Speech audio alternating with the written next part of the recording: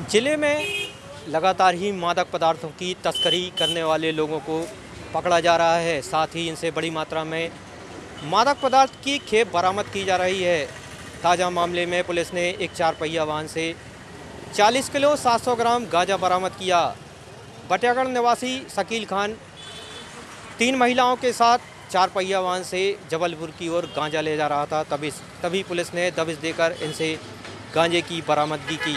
Police control room में police police अधीक्षक ने खुलासा करते हुए मामले की जानकारी दी।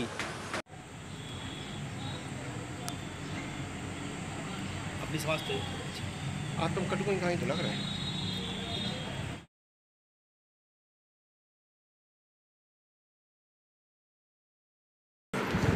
इसका जो फोटोग्राफ है पदार्थ को गाड़ी फोटोग्राफ आपको प्रेस फ़ोटो की तरह वहाँ खड़ी है। तो जो, अ, उसके साथ से अभी भी आप की ये एक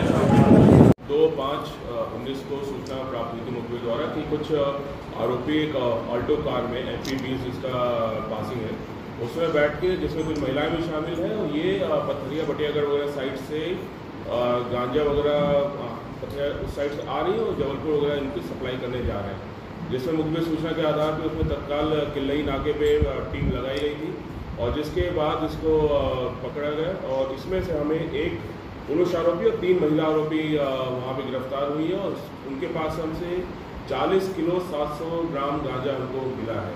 जिसके बारे में हमने आगे तस्दीक किया तो ये पता चला कि ये उड़ीसा से इन्होंने इसकी सप्लाई ली थी और उसको जबलपुर और उसके आगे इसको सप्लाई करने का इनका प्लान था।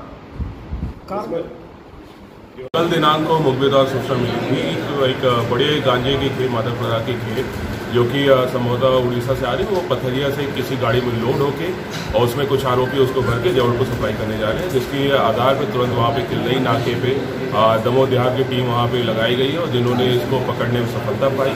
और उस गाड़ी में जो कि एम पी बीस पासिंग है, उसमें हमको चार आरोपी मिले हैं, जिसमें एक पुरुष और तीन महिला है, जो कि यहीं अगल बगल के निवासी हैं और गाड़ी से हमको 40 किलो 700 ग्राम गांजा मिला है, जब्त किया गया है, जिस, जिसको, जिसमें प्रकरण कायम करके अग्रिम विवेचना इसमें की जा रही है। जो अभी तक हमें जानकारी मिली है इनसे पूछताछ मिली है उसको ये पता चला कि इसका मूल स्रोत उड़ीसा से आ रहा है और वहाँ से ट्रेन से लग के फिर यहाँ पे इसको उतारते हैं और इसके बाद अलग अलग जगह पे इसको सप्लाई करते कितनी कीमत है सर इसकी? इसकी कीमत अगर हम मार्केट में देखें तो उसको चार लाख रुपए की इसकी कीमत है।